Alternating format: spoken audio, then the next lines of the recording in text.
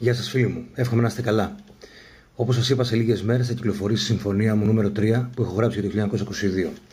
Και επειδή είμαι εδώ τώρα και ακούω το, το mastering άλλη μία φορά, ε, είμαι σε ένα σημείο το οποίο πραγματικά με συγκινεί πάρα πολύ. Το λατρεύω. Και θα ήθελα έτσι να το μοιραστώ μαζί σας. Ακούστε λίγο εδώ πέρα τη μελωδία. Έχει μια ενορχήστρωση με πάρα πολλές λεπτομέρειες. Και νομίζω ότι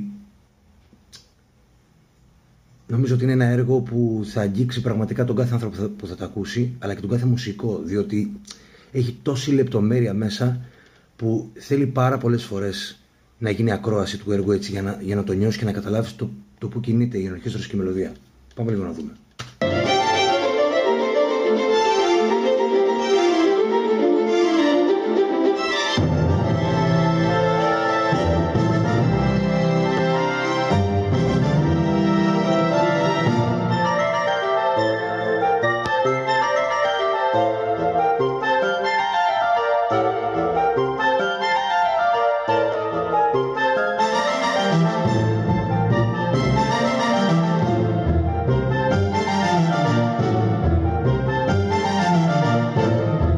Σαν να πετάει, σαν να πετάει.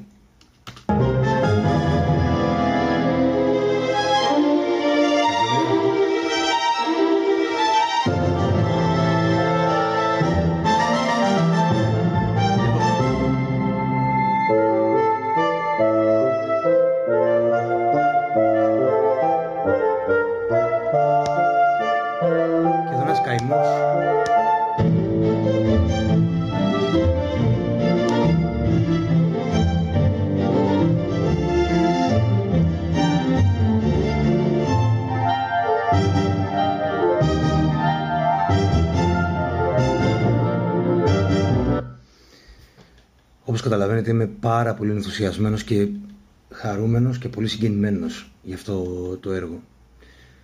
Νομίζω ότι θα το λατρέψετε. Σας ευχαριστώ πάρα πολύ. Ευχαριστώ. Θα τα πούμε σύντομα. Καλή συνέχεια.